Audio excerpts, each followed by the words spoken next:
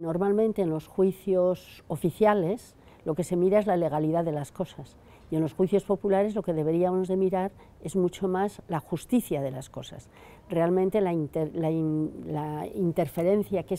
esos hechos tienen en la vida de la gente. Y por eso me parece que es muy importante la separación entre lo que es legal y lo que es justo. Me parece que lo justo es mucho más importante, aunque a veces las